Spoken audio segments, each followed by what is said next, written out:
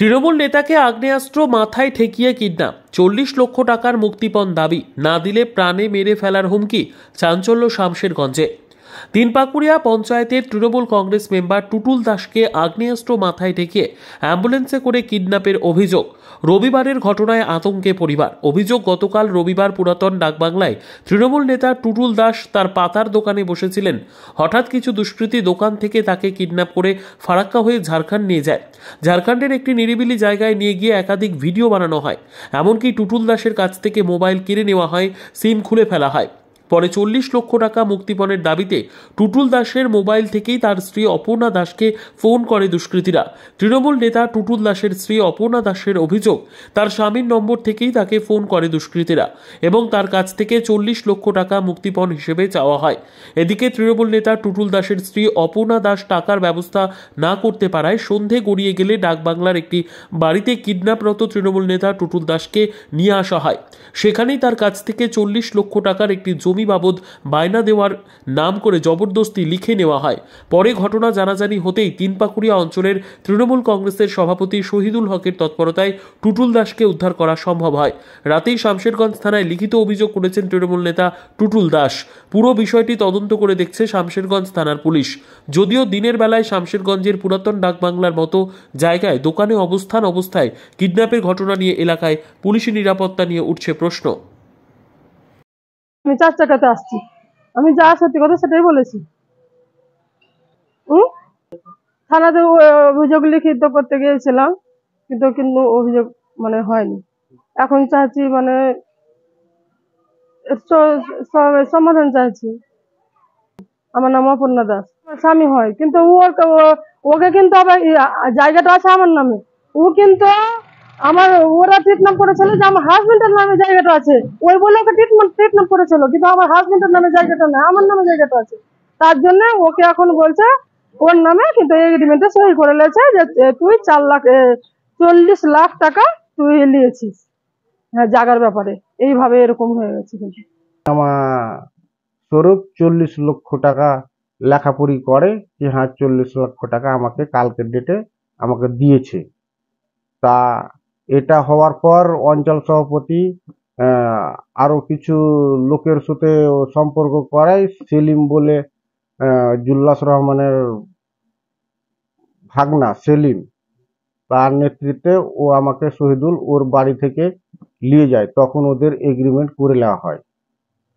Agreement করে ছেড়ে দেওয়ার পর আমি থানায় দ্বারস্থ হই। থানায় আটটা থেকে আটটা নটা থেকে শুরু করে আমি রাত্রি বারোটা অবধি আমি আমার অভিযোগ দাজ করি তাতে এখন পর্যন্ত আমি জিডি নাম্বার পাইনি আর পুলিশের কোনো ভূমিকা পাইনি এখন আমি আমার যে লিখিত করে নিয়েছে সেটা আইনের মাধ্যমে যাই হোক কি তাদের আমার সঠিক বিচার আমি যেন পাই, হুম। এতে এরা হচ্ছে জুল্লাস রহমান সোহেল শেখ আর মহিলিল ছিল ইলিয়াস মহিল গোবিন্দপুর বাড়ি। আর আর যে সবগুলা ছিল তাদেরকে চিনতে পারব কিন্তু নাম জানি না। এখন অবধি কোনো অ্যাকশন নেয়নি আমি এমএলএ সাহেবকেও জানিয়েছিলাম। এমএলএ সাহেবকেও জানার পর, বলার পরেও এখন পর্যন্ত কোনো কিছু, এখন পর্যন্ত কোনোই পাইনি মাথায় পিস্তুল ঠেকিয়ে অ্যাম্বুলেন্সে ভরে নিয়ে গেছে আমাকে। পুরো হ্যাঁ লিখিত ভাবে আমি জানি কোনো ব্যবস্থা নাই। এখন পর্যন্ত কোথাও যায়নি আমি পেরেসে দাস্ত হয়েছি। আমার নাম টুটুল দাস।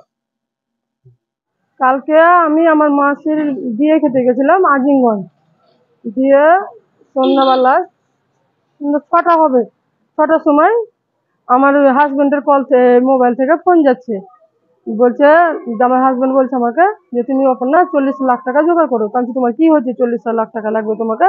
তো হচ্ছে জুল্লাস কাকুর ছেলেরা আমাকে উঠিয়ে নিয়ে এসছে।